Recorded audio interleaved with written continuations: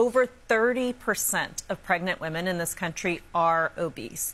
And the lack of information. Before they get pregnant? Before, Before- and during really? their, their pregnancy, oh, yeah. And the lack of information on these medications, these GLP 1 uh, weight loss medications during pregnancy, is a major gap because obesity and the complications of obesity drive up a lot of the maternal illness and mortality that we see in this country. And by the way, our rates of maternal mortality are three times higher than other high income countries. It's so this is a major yes. gap.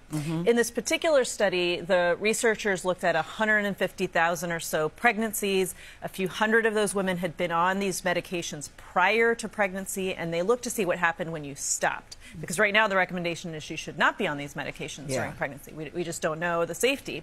And what they saw is when women stopped, they regained the weight quickly, and then you saw a slight increase in risk in things like. Uh, gestational diabetes, um, blood, high blood pressure, preterm birth.